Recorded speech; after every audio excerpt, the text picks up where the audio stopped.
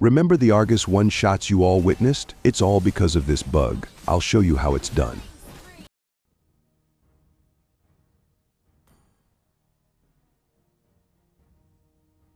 Be careful not to choke on your aspirations.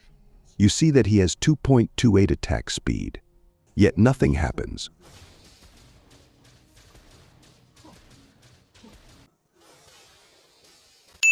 As you can see, all is normal. What's the key to do it? The most common situation is with Inspire. Pretty much everyone used this.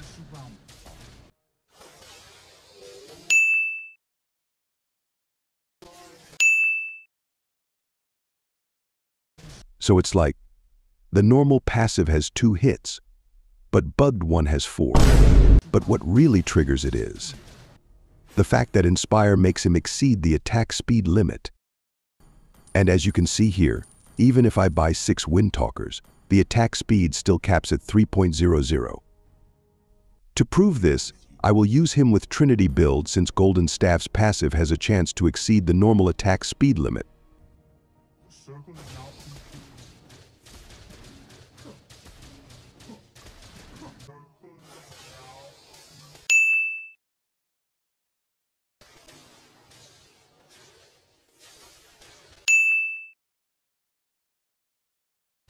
As you can see, it did that without the need of Inspire, and it even can constantly do it.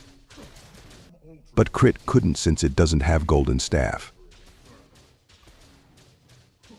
It is not written anywhere, so it's probably a bug, but they didn't even try to fix it and just let it stay there. Although Trinity is better to trigger his double slash, Crit is still better at getting more passive energy.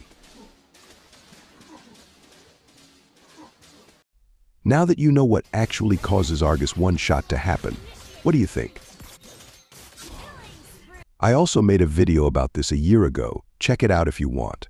Link is in the pinned comment.